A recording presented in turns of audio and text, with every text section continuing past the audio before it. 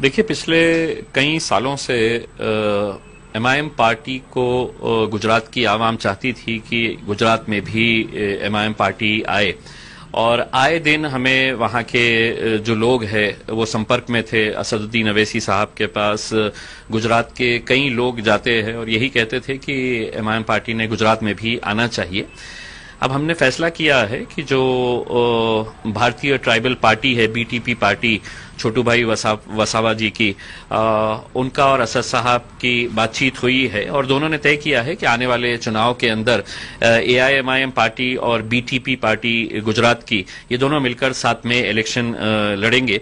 इस ताल्लुक से असद साहब ने मुझे आदेशित किया है उन्होंने मुझे बताया है कि आप गुजरात जाए और बीटीपी पार्टी के जितने भी वरिष्ठ नेता है उन लोगों के साथ बातचीत करे और आगे की क्या रणनीति रहेगी किस तरह से हम चुनाव साथ में मिलकर लड़ेंगे।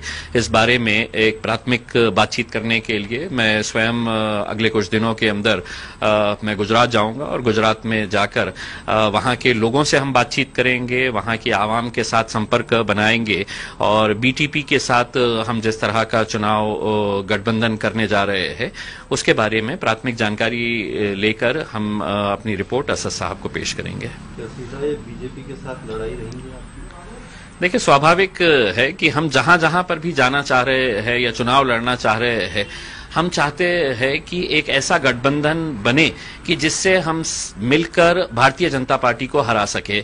आज इस देश के अंदर भारतीय जनता पार्टी को हराना बहुत ज़रूरी हो गया है। इसीलिए जितनी भी छोटी बड़ी पार्टियाँ हैं, सब एक साथ मिलकर अगर आते हैं तो यकीनन हम भारतीय जनता पार्टी को हरा सकते हैं।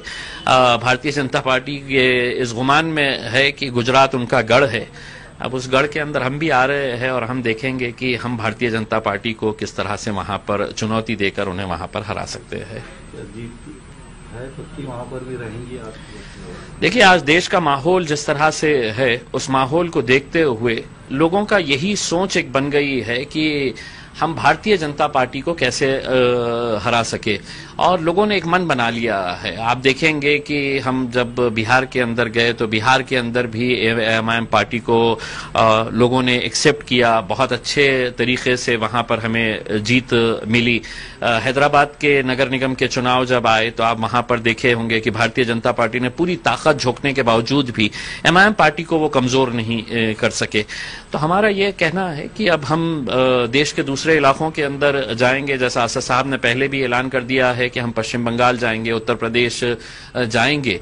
तो ये समझता हूँ कि गुजरात में जाना एक बहुत बड़ा अहम फैसला है और गुजरात की जनता की आवाज़ के ऊपर हम वहाँ पर जा रहे हैं। क्योंकि वहाँ की आवाम खुद चाहती है कि गुजरात में भी एम पार्टी ने आना चाहिए।